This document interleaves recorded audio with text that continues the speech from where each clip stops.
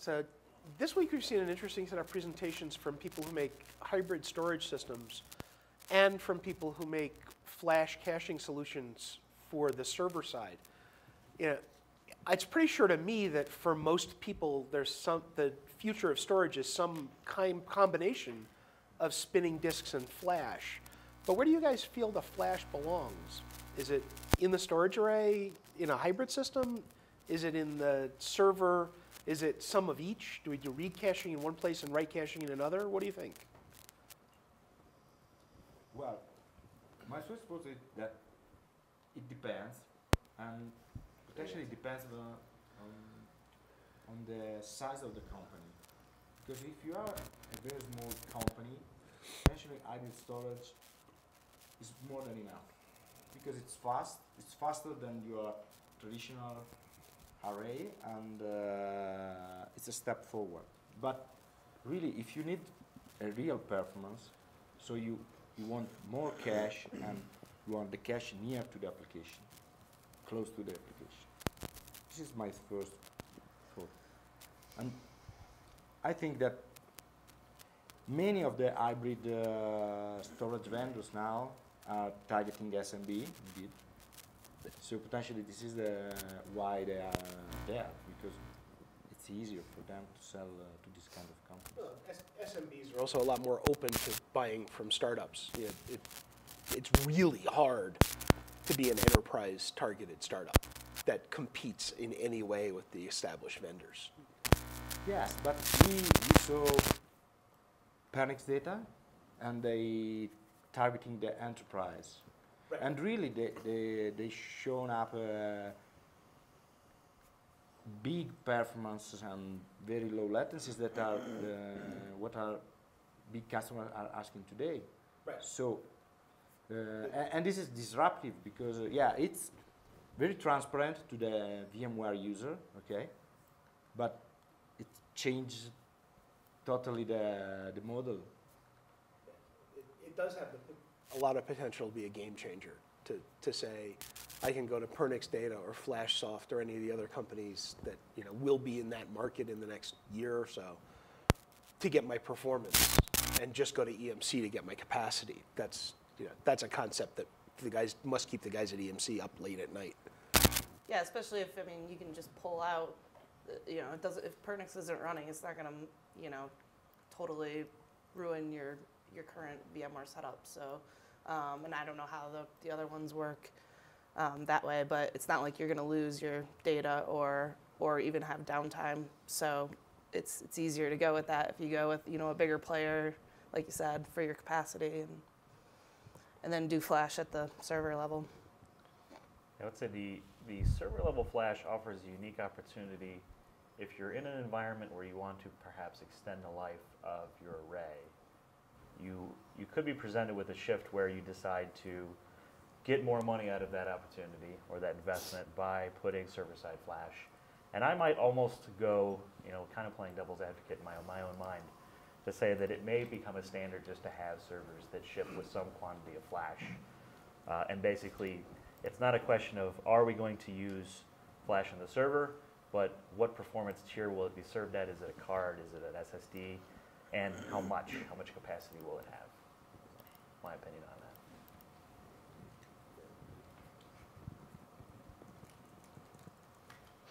Of all people. So then it's also a good one for the SMB then. Yeah, I mean, well, if you look at uh, even Blade Technologies can uh, can kind of uh, take advantage of the flash story. I think all of them have the ability to ship with uh, SSDs in, some way, shape, or form. Typically, two of them. Uh, for an SMB, you know, you can get a rack mount server and, very easily buy some consumer grade uh, flash disks. relatively cheap. Yeah. I mean, even in let's let's just take the example of my home lab, right? Uh, for 80 bucks, I bought 120 gigs of flash capacity for each server, and uh, I think total investment was like $300. And I'm seeing a pretty dramatic improvement in. It's a not it's not a realistic environment. I understand that, but for relatively cheap, I've dramatically increased my performance uh, using just consumer grade stuff that I bought off Amazon.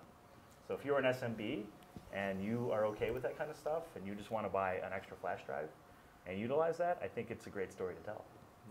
potentially the next generation of uh, every kind of uh, standard server will have uh, SSD inside, uh, or potentially they will be drives uh, uh, connect directly connected to the PCI.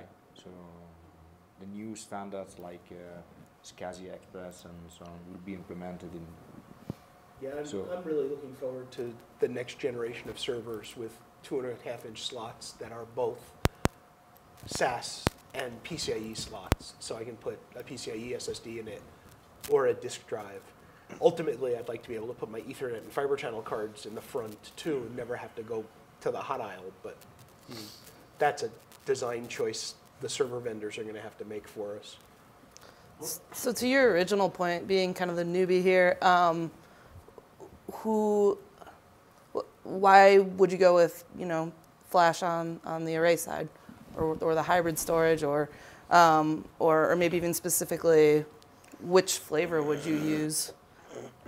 Isn't it depending on the workload, maybe from the application? Because we saw some great IOPS with those flash cards. So why investing in uh, a lot of uh, disks or uh, solid state disks instead of uh, flash cards? You also may be on just the refresh cycle where your compute is fine uh, and you're, you're up for an array refresh cycle, and it just makes sense to go something smaller, leaner, less power consumption, less heat, uh, that, that utilizes flash, so you're, you're shrinking down your, your footprint. Uh, the compute, you're happy with it. Yeah. If, if you've got an old EVA with four trays of 15K RPM drives, and you can replace that with a 3U device that's got 7,200 RPM drives and flash, then you're going to do that. Um, the interesting thing is, if you've got that old EVA and there's another two years to go on its lease, then server side flash as a band aid makes a huge amount of sense. It's, but there's there's a, a point where spending five to fifteen thousand dollars per server to speed the servers up versus spending hundred thousand dollars for a faster array. You know, at some point you got to go. Well, which am I going to do now? If you need a million IOPS, you might go server side mm-hmm. Or both? or or some combination yeah and and then it start then we start getting into well and in the in the best of all possible worlds there'll be some method of coordination between the array and the server side about who caches what so that we don't have the same data in multiple caches at multiple layers And I think on, the flip side, we we are always talking about VMware and potentially Hyper-V, Microsoft, but really many companies are uh, still running on Unix and uh, other kind of stuff. So potentially the this, uh, the server side uh, cache in, in all those cases doesn't work. So you need a very strong uh, uh, hybrid or full flash uh, uh, array because you can change applications. If you have uh, a COBOL uh, application written 30 years ago, yeah it's quite difficult to to tune in to, to get uh, something new. So potentially, uh, it's a mix. So new technology uh, like virtualization, it's easy to implement caching side or yeah, all, all the kind of stuff that runs on x86 servers. It's easy. On the other side, all the legacy needs legacy array or legacy approach. right need, need something that's that's external to that device because we can't make changes internally to it One- Um, one- that sorry, once servers start to come with SSDs in them, won't that sort of commoditize the entire, you know, all this, all this innovation that's around it? And, um, because, you know, it's there, comes with it. Everybody has it, they're gonna be implementing schemes that sort of work for their, for the OEM's business model. How do these guys survive, or how do you sort of, uh, plan for, for not, not having, you know, your, your investment become obsolete, you know, right away? Really, I think that there are some important innovation uh, that some kind of uh, guys like Fusion IO, Fusion IO, yeah, has a great product potentially, but they have a lot of software on top of it. So uh, the other side is not so important. Potentially, it will be less important in the future to be very commodity.